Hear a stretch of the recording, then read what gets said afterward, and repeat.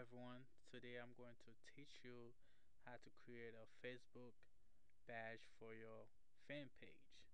Basically what I'm going to want you to do is to go to your Facebook page. After you go to your Facebook page, you go to your home page, I mean profile, excuse me.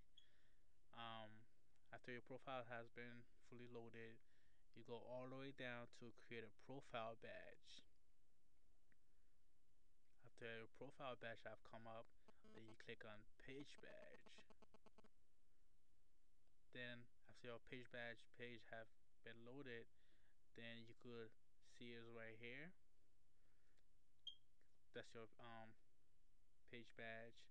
So if you want to edit it to show it certain ways what you're gonna do is go to edit this badge. After you edit this badge basically your badge will look like this so if you want to change this the look of it the style of it what you're gonna do is click right here the layout. If you want the layout to be vertical which is gonna look like this as you can see here. But if you don't like the layout for vertical you could also change that as horizontal which will look like this.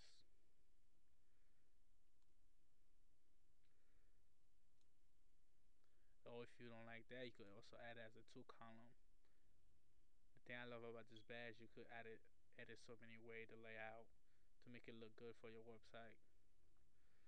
And if not only that, you could also take out the name or put the name back on. So when you take out the name, it will look like this. Basically, the your fan page name will not come up. But I suggest you not do that because you try to get the name out there. Let me add this back in. Or if you want don't want the status to be out there. You just want just the name or how much fans you have in the picture. You could also look like this.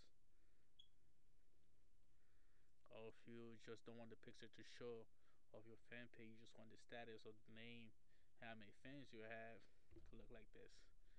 Or last but not least you could take out the fan page and your profile badge will look like this after you finish selecting however you want it you're gonna save. Wait I just had the fan back up okay? Um click save. Okay after you finish click save. Click on orders. You copy the code below. After you finish copy the code below. You go to your website or wherever your blog. Then you add the HTML code and wherever you like it on your website and it will show up like this. That's easy as that. Thank you for watching. This is Ralph from tipsforaffiliate.com have a good day